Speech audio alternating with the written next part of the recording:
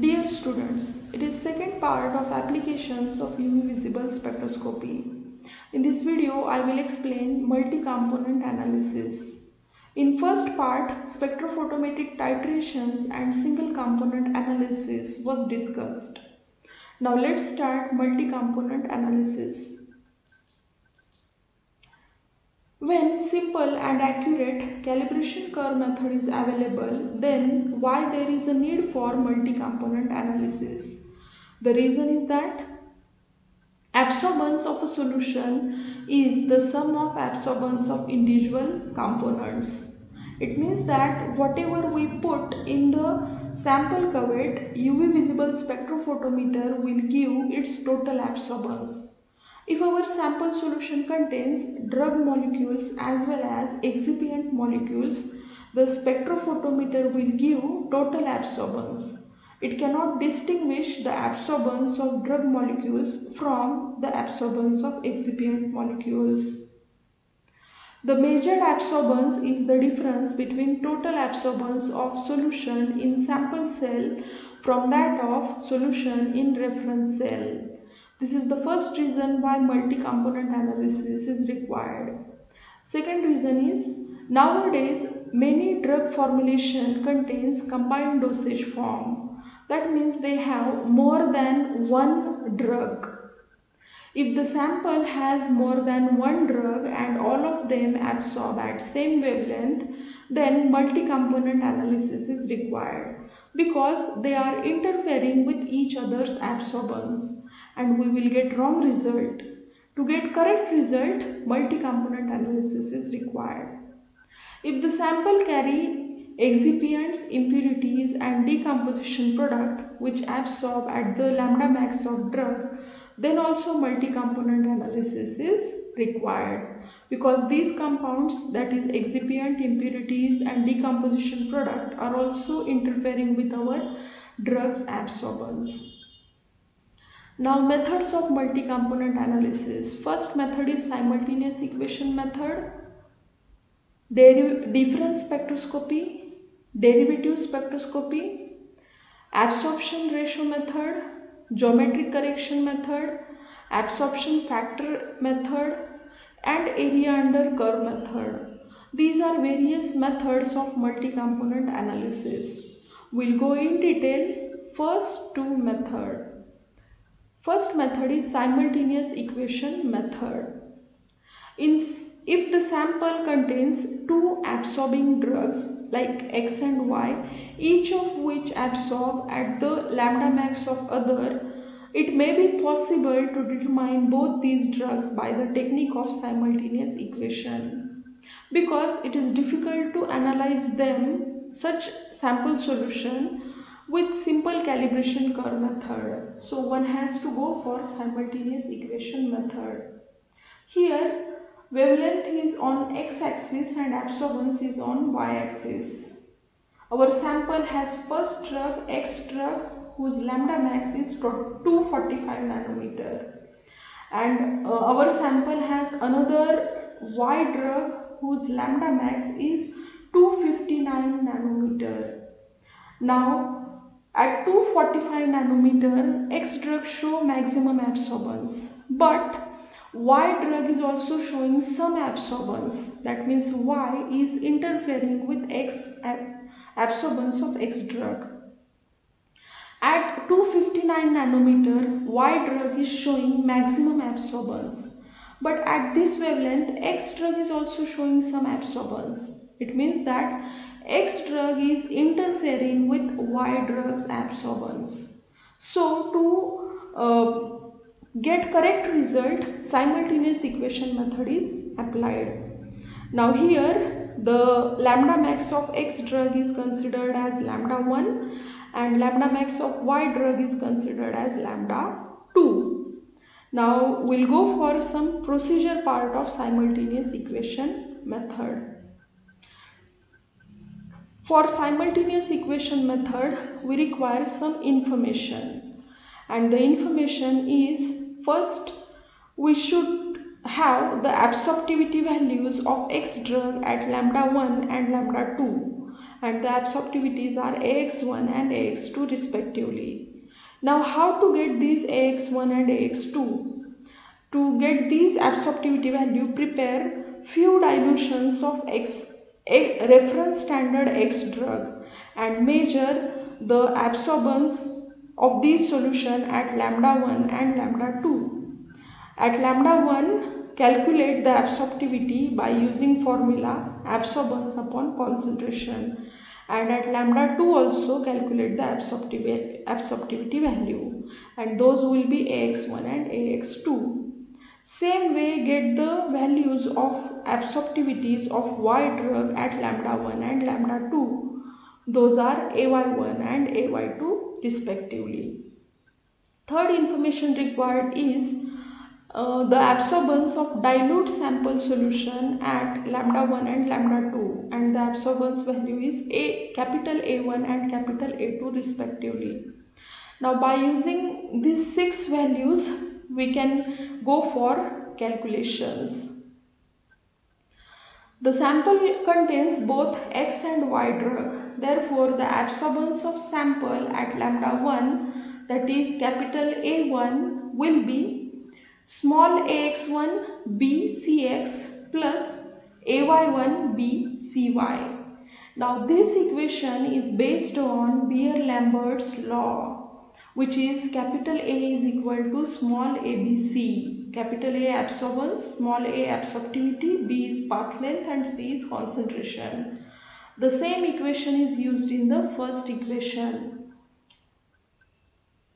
At lambda 2, the absor absorbance A2 will be AX2BCY plus AY2B, uh, sorry, AX2BCX plus AY2BCY. Here Cx and Cy are the concentration of X and Y drug respectively. Now these are the final formulas for calculation of drug, drug concentration. Cx is equal to capital A2 AY1 minus capital A1 AY2 upon AX2 AY1 minus AX1 AY2. This is for concentration of X drug. Cy is equal to capital A1 AX2 minus capital A2 AX1 upon AX2 AY1 minus AX1 AY2. By using these formulas we can calculate the concentration of X and Y drug respectively. So this is about the simultaneous equation method. Now we'll go for next method that is difference spectroscopy, difference spectrophotometry. If the sample has interfering substance like impurities, decomposition product or other drug then selectivity and accuracy of method can be improved by this technique. In this method the major value is the difference in the absorbance between two equimolar solutions of analyte in different chemical forms which exhibit different spectral characteristic. Different chemical forms of substance are produced by addition of one or more chemical reagents. Simple way to prepare different chemical forms of substance is to alter the pH of sample solution by using acid, base or buffer. Now here in different spectroscopy, two different solutions of same analyte are prepared but these two different solutions should be equimolar that means concentra concentration should be same but the chemical form of analyte is different. So such equimolar solutions are prepared and then their absorbance is measured. One example is given here. The example is of uh, phenylephrine. The solution of phenylephrine in 0.1 molar HCl pH 1 and the solution uh, same concentration of phenylephrine in Uh, 0.1 molar NaOH pH 13. Such two solutions of phenylephrine are prepared. In 0.1 molar HCl, the lambda max of phenylephrine is 271 nanometer and in 0.1 molar NaOH, the lambda max of phenylephrine is 291 nanometer. When acidic solution is placed in reference cell while alkaline solution is placed in sample cell, we'll get the difference in the absorbance of these two solutions we'll get delta A is equal to A alkaline minus A acidic. In this way, phenylephrine can be analyzed by difference spectroscopy. Now, chemical derivatization. Uh, this is uh, another method of spectrophotometric analysis. Uh, why one should go for chemical derivatization, we'll see in detail about this method. These methods are also known as indirect spectrophotometric assay. The sample is converted into its colored derivative by using some reagent. These derivatives have longer lambda max and higher absorptivity value. Now why uh, the requirement of chemical derivatization is there? The first reason, if analyte do not have strong chromophore, that means if our drug do not have very strong chromophore and it, it is not showing strong absorbance in UV visible region, then by using some chemical reaction, a strong chromophore is introduced and then it will give, it will convert into colored compound and it will show strong absorbance in UV visible region. If interfering substances are there, then also chemical derivatization is done to improve selectivity of assay to reduce the cost. Now, colored compounds can be analyzed by colorimeter and colorimeter are less in cost than UV visible spectrophotometer. So, cost reduction is there if we go for chemical derivatization. Methods of chemical derivatization colorimetric estimation by oxidation, colorimetric estimation by complexation and colorimetric estimation by condensation reaction. Now chemical derivatization is nothing but converting a colorless compound into a colored derivative. So we'll uh, see in detail about the oxidation. Colorimetric estimation by oxidation. Weakly absorbing compounds containing simple phenyl group on oxidation of side chain produce carbonyl derivative. These derivatives have longer have greater absorptivity values than the parent compound.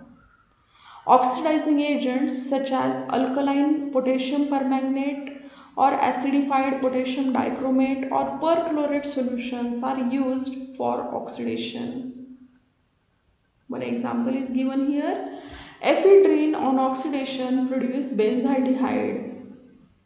Ephedrine who has simple phenyl ring and a side chain, it is oxidized to give benzaldehyde and benzaldehyde shows strong absorbance at 240, 240 nanometer so in this way we can convert a weakly absorbing compound into a strongly absorbing colored derivative. So in this way chemical derivatization is performed. So I hope you understood multi-component analysis and chemical derivatization as well. Thank you for watching my video.